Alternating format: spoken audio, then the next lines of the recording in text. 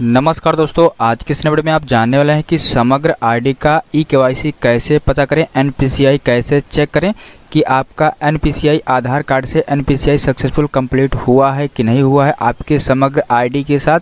अगर आपके समग्र आईडी के साथ Aadhaar card NPCI successful complete नहीं हुआ होगा, तब तो आपको समग्र के थ्रू जो लाभ दिया जा रहा है, आपको वो लाभ नहीं मिलने वाला है। तो आप किस तरह से अपना NPCI स्टेटस चेक करेंगे कि आपका आधार कार्ड आपके समग्र आईडी के साथ लिंक है या नहीं लिंक है? तो आप समग्र आईडी का NPCI स्टेटस चेक करना चाहते हैं तो आप इस वीडियो में एंड तक ज़रूर बने रहेगा मैं आपको स्टेप स्टेप सारी जानकारी, सारी इन्फॉर्मेशन देने वाला हूँ कि किस तरह से जो है आप अपने मोबाइल से ही चेक कर सकते हैं। तो दोस्तों, वीडियो स्टार्ट करने से पहले अगर वीडियो अच्छी लगी तो वीडियो को लाइक कर दीजिएगा और हमारे चैनल पर अगर नए हो तो चैनल को सब्सक्राइब कर लीजिएगा। तो चलिए दोस्तों वीडियो को स्टार्ट करते हैं। तो दोस्तों आपको सबसे पहले क्या करना होगा, अपने मोबाइल या कंप्यूटर में किसी भी ब्राउज़र को ओपन करना है और ब्राउज़र को ओपन करने के बाद में आपको सिंपली सर्च बार में डाल देना है समग्र पोर्टल। इतना डाल के आपको सिंपली सर्च पे प्रेस कर देना है और समग्र पोर्टल आप डाल के सर्च पे जैसे प्रेस करेंगे तो आपको सबसे फ़र्स्ट वाले वेबसाइट पे क्लिक कर देना है जो लिखा होगा समग्र डॉट जी डॉट इन और हिंदी में लिखा होगा समग्र पोर्टल। तो आपको इसी वाले वेबसाइट पे क्लिक कर देना है।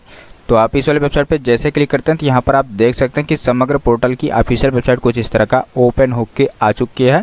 और महत्वपूर्ण जानकारी में सबसे पहले ही बता दे रहा है कि अगर आपका समग्र पोर्टल में ई के नहीं हुआ है तो आप यहाँ पर क्लिक करके जो है अपना ई के कंप्लीट कर लें। नहीं तो आपको जो है समग्र के थ्रू जो लाभ दिया जा रहा है, आपको नहीं मिलने वाला है। तो आपको क्या करना है, फटाफट अपना ई के ज़रूर करवा लेना है। या आप नहीं कर पा रहे हैं तो आप किसी भी जनसेवा केंद्र पर जाकर के करवा सकते हैं।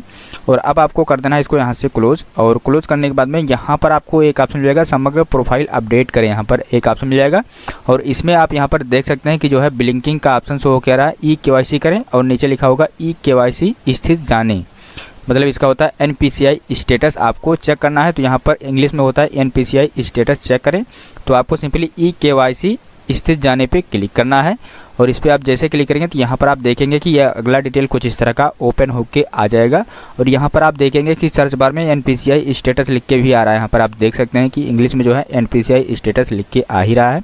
और अब आपको क्या करना होगा, यहाँ पर लिखा होगा समग्र आईडी दर्ज करें। तो आपको क्या करना होगा, अपना यहाँ पर समग्र आईडी आपको यहाँ पर लिख देना है सिंपली, और इस कैप्चर कोड को यहाँ पर लिख देना है, और उसके बाद में खोजे पे आपको क्लिक कर देना है। तो आप खोजने पे जैसे क्लिक करेंगे तो यहाँ पर आप नीचे देखेंगे कि आपका पूरा डिटेल शो होके आ जाएगा। आप यहाँ पर देख सकते हैं कि आपका यहाँ पर समग्र आईडी शो होके आ ही रहा है और उसके बाद में आपका समग्र में आधार की स्थिति यहाँ पर है कि नहीं है, यहाँ पर आप देख सकते हैं कि नहीं लिख के आ रहा कि आपके आपके समग्र आईडी के साथ जो है आपका आधार कार्ड लिंक नहीं है और यहाँ पर मोबाइल नंबर भी नहीं लिंक है और बैंक खाते में आधार कार्ड की स्थिति जो है अप्राप्त जानकारी है और डीबीटी सक्रिय है कि नहीं, यहाँ पर अप्राप्त जानकारी है और समग्र में फ़ोटो की उपलब्धता है, नहीं है। आप यहाँ पर देख सकते हैं कि सभी की स्थिति जो है यहाँ पर नहीं नहीं किसी हो के आ रहा है। तो इस कंडीशन में जो है आप अपने बैंक में जा करके अपना जो है एनपीसीआई लिंक ज़रूर करवा लेना है। आप, आपको जो है अपने समग्र आईडी के साथ जो है अपना आधार कार्ड एनपीसीआई ज़रूर एक्टिव करवा लेना है। आप किसी भी जनसेवा केंद्र पे जाएँगे तो आपको जो है अपना एन पी ज़रूर करवा लेना है। और उसके बाद में आपको अपने बैंक में भी जा करके जो है अपना बैंक का आधार स्थिति यहाँ पर चेक करवा के आपको वहाँ पर एक्टिव करवा लेना है। और दोस्तों अपना जब समग्र आईडी का जो है ई के वाई अपना लिंक करवा लेंगे तो आपको किस तरह से चेक करना है आपका किस तरह से यहाँ पर शो होकर आ जाएगा ई के वाई सी की स्थिति आपका किस तरह से शो होकर आएगा। मैं आपको चलिए फिर से दिखा देता हूँ कर कि आपको समग्र आईडी को यहाँ पर दर्ज कर देना है लिख देना है और उसके बाद में इस कैप्चर कोड को यहाँ पर फिल कर देना है। अगर मान लीजिए आपके मोबाइल या कंप्यूटर में नहीं यहाँ पर यहाँ पर नहीं स्पष्ट हो पा रहा है तो आपको यहाँ से रिफ्रेश कर लेना है और रिफ्रेश करने के बाद में यहाँ पर देखेंगे कि साफ़ साफ़ कैप्चा कोड लिख के आ जाएगा। अब आपको अपना कैप्चा कोड यहाँ पर फिल करना है और कैप्चा कोड को फिल करके आपको खोजे पे सिंपली क्लिक कर देना है। और खोजे पे आप जैसे क्लिक करेंगे तो यहाँ पर आप नीचे देखेंगे कि आपका पूरा स्थिति यहाँ पर शो होकर आ जाएगा। आप यहाँ पर देख सकते हैं कि जब आपका समग्र ई के सक्सेसफुल कंप्लीट हो जाएगा एन पी जो है सक्सेसफुल कंप्लीट हो जाएगा, आपका डी बी टी लिंक हो जाएगा तो यहाँ पर आप देखेंगे कि समग्र में आधार की स्थिति यहाँ पर हाँ लिख के आ जाएगा और समग्र में मोबाइल नंबर की उपलब्धता यहाँ पर लिख के आ जाएगा। और बैंक खाते में आधार की स्थिति यहाँ पर हाँ यहाँ पर लिख के आ जाएगा यस लिख के आ जाएगा। और डीबीटी सक्रिय है कि नहीं यहाँ पर हाँ भी लिख के आ जाएगा। यहाँ पर देख सकते हैं कि यस लिख के आ जाएगा हाँ लिख के आ जाएगा। और समग्र में फ़ोटो की उपलब्धता है, यहाँ पर हाँ भी लिख के आ चुका है। मतलब कि सभी कंडीशन में सभी का स्थिति यहाँ पर एस लिख के आ रहा है कि हाँ लिख के आ रहा है कि आपका जो है लगभग सभी के वाई हो चुकी हैं। आपका डीबीटी लिंक हो चुका है। आपके बैंक में आधार कार्ड की स्थिति यहाँ पर शो होकर आ रहा है और आपके आधार कार्ड की स्थिति हाँ होके आ ही चुका है। आपका मोबाइल नंबर भी एक्टिव हो चुका है। आपका डीबीटी सक्रिय स्थिति भी यहाँ पर एक्टिव हो चुका है। तो दोस्तों, इसी तरह से जो है अपना समग्र आईडी का ई के बहुत ही आसानी तरीके से चेक कर सकते हैं।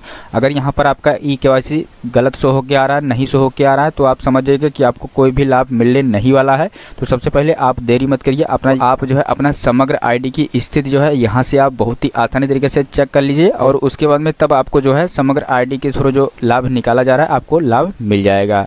तो दोस्तों, आशा करते हैं आप लोग इस वीडियो के माध्यम से समझ गए होंगे कि समग्र आईडी का जो है ई के सी आई स्थिति कैसे चेक किया जाता है।